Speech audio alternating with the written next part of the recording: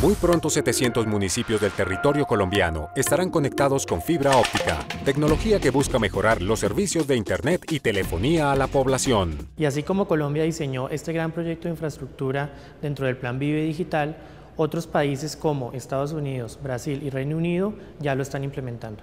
Países como Estados Unidos plantearon estrategias de banda ancha que promueven estimular el despliegue y adopción de la banda ancha. En Latinoamérica, Brasil le apuesta a estimular al sector privado para que invierta en infraestructura de banda ancha, con el Estado actuando de forma complementaria para que en el año 2014 25 capitales de ese país cuenten con esta tecnología.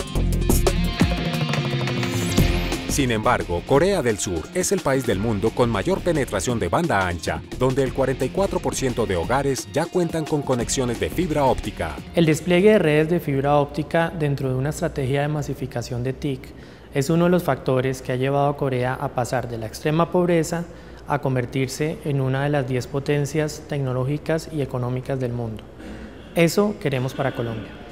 Estudiando las experiencias internacionales, el Ministerio TIC, en cabeza del programa Compartel, ha desarrollado el Plan Nacional de Fibra Óptica para lograr que Colombia también aproveche los beneficios de contar con una excelente conectividad.